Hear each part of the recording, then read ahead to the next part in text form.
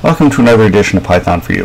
This morning I wanted to take a look at stacks and queues and while support for both is built into the list object in Python, you want to be careful about how you use queues because if you try to append something to the end of a list or also pull something off the end of it like you normally do with a queue, you know, last in, first out, pull the top thing off, it's a little suboptimal for that. So what they've done is they've created the deque to create a structure that's a little more amenable to that.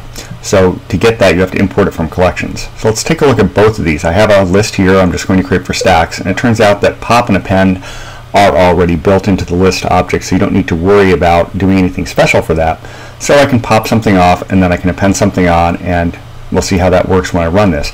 With queues, I'm going to use deque on a list and get a structure that's a little more amenable to using pulling off the top and pushing on the end. So I can append things onto it and then I can pull things off of it.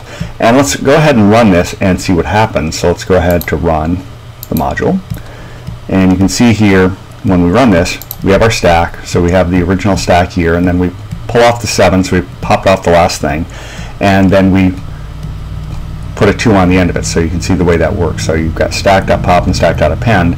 And then queues over here you can see that I've got this and notice that it prints the deque So I did the pop left and I get the zero off and then I append and get something onto the end. So if you're going to work with stacks, they work fine with regular lists. If you're going to work with something that needs to be queue-like, you probably want to use deque to create a queue-type structure. So you should also refer to the documentation pages that I'll link in the show notes for more information on this stuff. A lot of depth there.